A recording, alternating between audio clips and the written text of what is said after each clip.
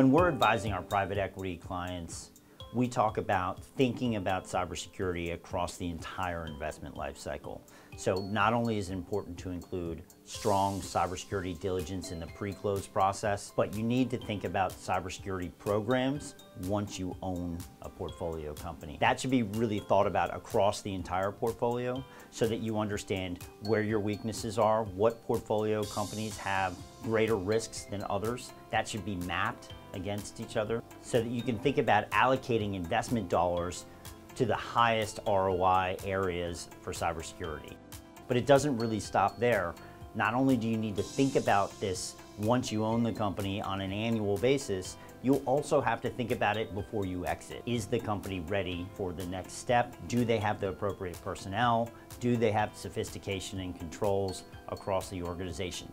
If you think about it that way and you're always organized in your approach to cybersecurity, you address it on an annual basis, ultimately you're going to see a significant increase in the value that you get for that organization at exit.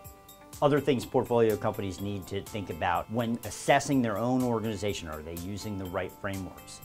what's the appropriate combination of frameworks that they should be using to map their organization against and continue to build upon as they increase maturity and reduce cyber risk across the company.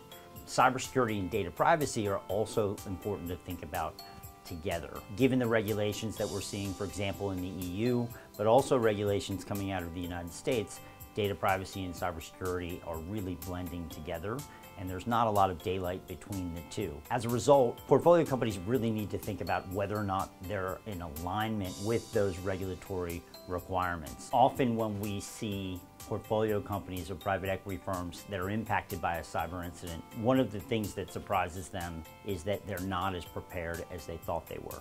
Do you have strong external counsel that has expertise in cyber and data privacy that can help in the case of an incident? Do you know who to call to be that first responder, to do the forensic incident response work, identify what the root cause is? Do you have a crisis communications firm that does and specializes in cyber crisis communication that can help manage the internal and the external message? All those things are critical to have in place, not only for each portfolio company, but across the portfolio broadly.